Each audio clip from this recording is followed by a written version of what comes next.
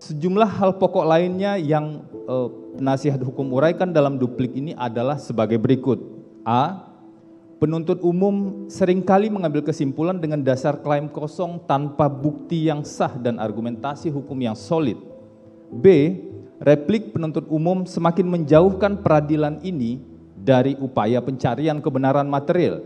Sebagai perbandingan, jika dalam proses penyidikan pernah ada skenario yang disusun, maka di persidangan ini terdapat hal yang lebih tidak pantas dilakukan, yaitu manipulasi peristiwa untuk kepentingan klaim pembuktian dalil penuntut umum.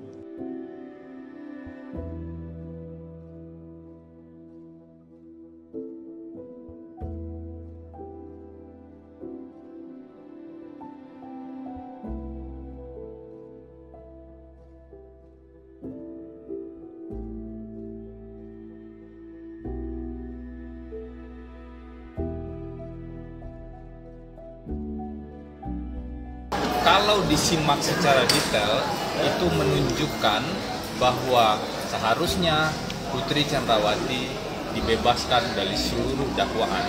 Karena memang dari seluruh tuduhan mulai dari e, peristiwa di Magelang sampai dengan kejadian pasca penembakan tersebut penuntut umum keliru. Tapi kami tidak hanya asal klaim kami tidak melakukan klaim-klaim kosong karena yang kami ungkapkan itu kami hubungkan dengan bukti-bukti yang muncul di proses persidangan. Jadi tidak sekedar mengatakan ini terbukti, ini tidak terbukti, tapi kami ajukan juga bukti-bukti secara rinci. Di, di kitab undang-undang hukum acara pidana kita kan dikenal lima alat bukti dan kami menggunakan itu semaksimal mungkin menerapkan aturan hukumnya karena bagi kami ini bukan sekedar soal perkara ini saja.